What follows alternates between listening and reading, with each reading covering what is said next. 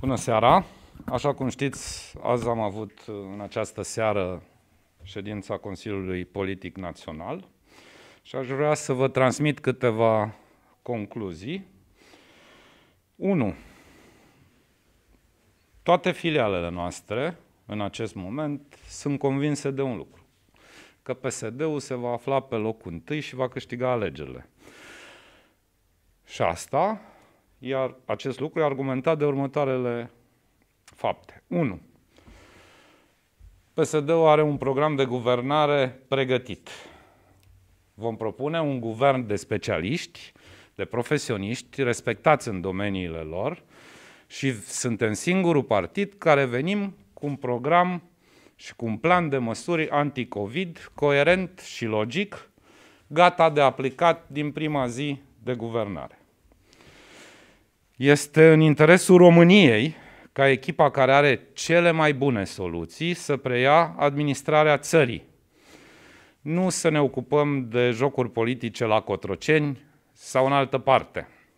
România are nevoie cât mai repede de un nou guvern care să preia controlul pandemiei, să vină cu măsuri coerente, astfel încât în cel mai scurt timp viața românilor să revină la normalitate.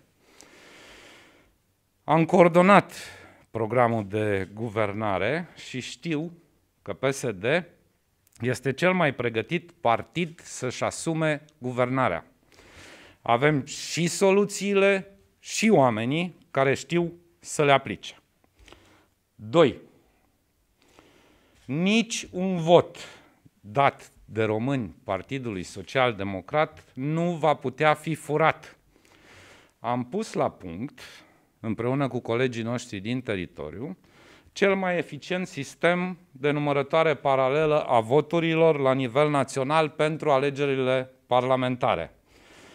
Am cooptat în echipa de campanie un grup de membri din organizația de tineret, specialiști în IT. Ei vor susține din punct de vedere tehnologic tot ceea ce ține de raportările privind procesele verbale din acea noapte. PSD va fi partidul care va avea în cel mai scurt timp voturile numărate până la ultimul. Niciun vot pe care românii îl vor acorda partidului nostru nu se va mai pierde. Aș vrea să fac un avertisment pentru PNL și USR, și anume că nu aveți nicio șansă să mai deturnați votul românilor. Și trei, toate organizațiile noastre locale, toți aleșii PSD, trebuie să facă eforturi în aceste zile pentru ca orice român să poată vota în siguranță. În zilele următoare, rămase până la vot, vom avea o campanie de comunicare către cetățenii a unor reguli simple, dar esențiale, pe care să le respecte pentru a vota în siguranță. Pe 6 decembrie fiecare vot este important.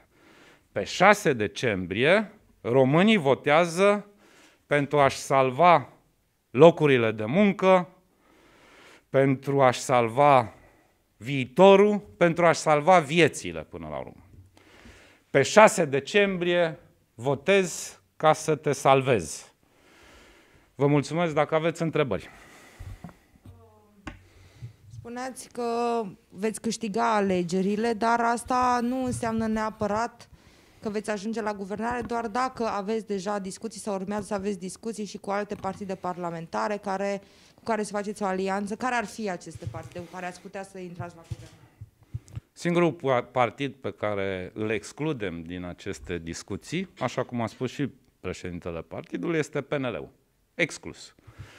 În rest, eu aș uh, face apel la răbdare și să avem în seara de 6 decembrie, să așteptăm seara de 6 decembrie, poate chiar dimineața zilei de 7 decembrie, să vedem repartiția locurilor în Parlament, fiecare partid cât, câți parlamentari are, cine reușește să facă pragul, cine nu. Și atunci vom putea, vom putea discuta cât se poate de de concret uh, despre ceea ce întrebați dumneavoastră, dar aș face o mențiune.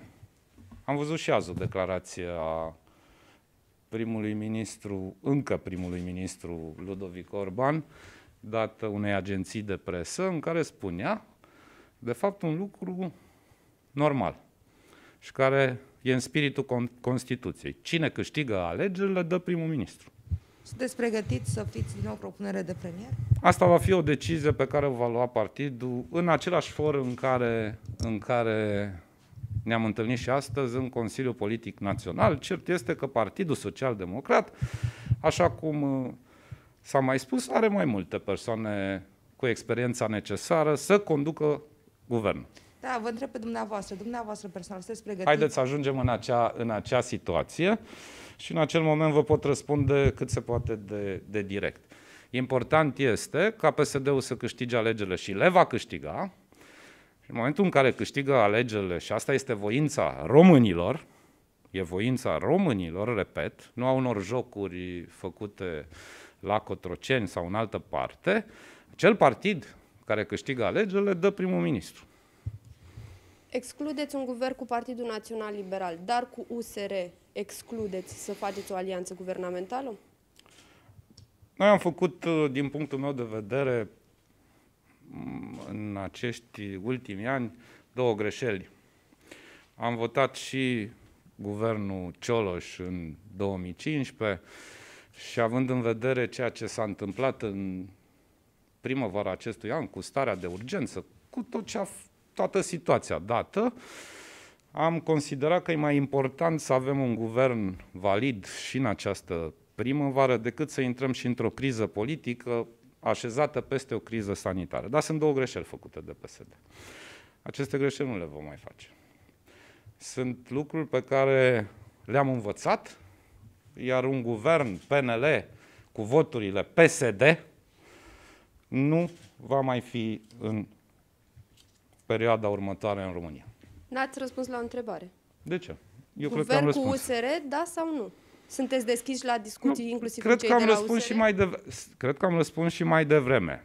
Și anume prin faptul că uh, vreau, vrem să așteptăm rezultatul alegerilor. Dar n-ați așteptat rezultatul alegerilor înainte să anunțați că excludeți o alianță guvernamentală cu PNL. Pen- și asta motivat de următorul lucru.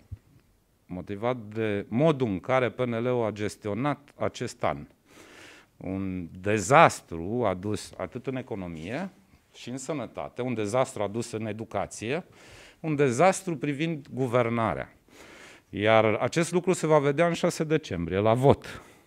Pentru că, dacă ne aducem aminte, în urmă cu un an de zile, același partid era acreditat undeva în jur de 47%, mai puțin câștigau singuri alegerile cei de la PNL, imediat după alegerile prezidențiale, da? În acest moment știm că vor pierde alegerile, că vor fi în urma PSD-ului. Ceea ce ne dorim noi este să guverneze PSD-ul. Atâta timp cât vom câștiga alegerile și le vom câștiga. Spuneți că a fost o greșeală să susțineți la un Parlament cu voturile PSD guvernul condus de Dacian Cioloș.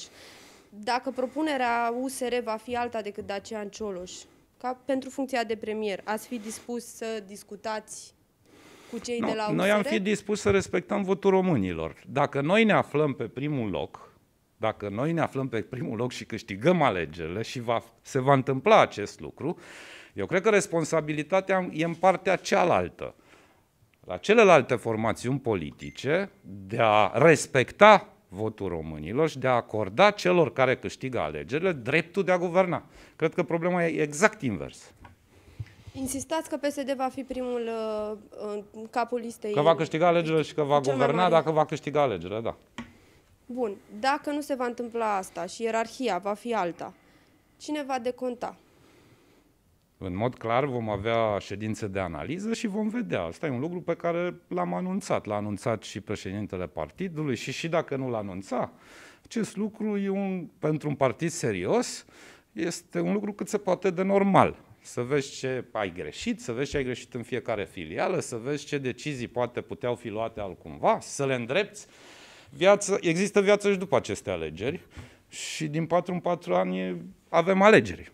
Așa că noi trebuie să învățăm din anumite lucruri pe care poate nu le-am făcut bine dacă nu vom câștiga alegerile, dar vă subliniez, le vom câștiga și vom fi pe primul loc spre disperarea unora care fac campanie electorală în aceste zile cum n-am văzut să facă nici măcar când au candidat anul trecut. Deci va fi o răspundere colectivă sau una individuală?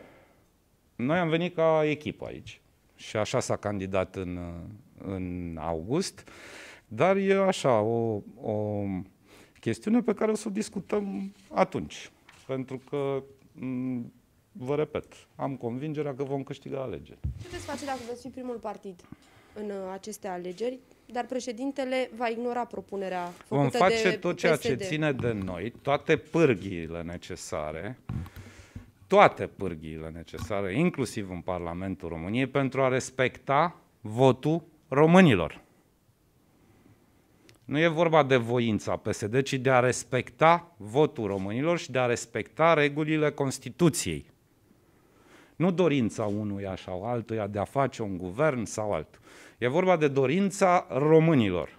Și asta este dincolo de un președinte sau alt președinte, care sunt trecători. Iar dorința românilor pentru alegerile parlamentare va fi dată în 6 decembrie. Suntem hotărâți să apărăm voturile cu toate pârghile. Cum puteți, din punct de O vedere să- constituțional, Eu care încă, sunt eu pârghile încă, pe care le aveți la îndemână? eu încă, eu încă și noi încă credem că cei care încearcă să se situeze deasupra regulilor constituționale fac declarații în aceste zile sub uh, impresie electorală sau sub uh, perspectiv, din perspectiva alegerilor din 6 decembrie. Uh, nu cred că își va permite nimeni să încalce regulile Constituției. Este credința noastră, suntem țară membră a Uniunii Europene, suntem țară membră NATO, există reguli ale democrației, cine câștigă alegerile guvernează. Astea sunt regulile. Cu toate astea, președintele deja s-a întrepronunțat și a spus că va guverna după data de 6 decembrie PNL împreună cu USR. De ce mai facem alegeri atunci? Pentru ce mai facem alegeri? L-aș întreba retoric pe președintele Iohannis de ce mai avem nevoie de alegeri, dacă știe de acum. De ce mai iese în fiecare zi să fie agentul electoral numărul unu al, al uh, PNL-ului, dacă știe de acum. Nu! Românii vor decide peste o săptămână cine va guverna această țară.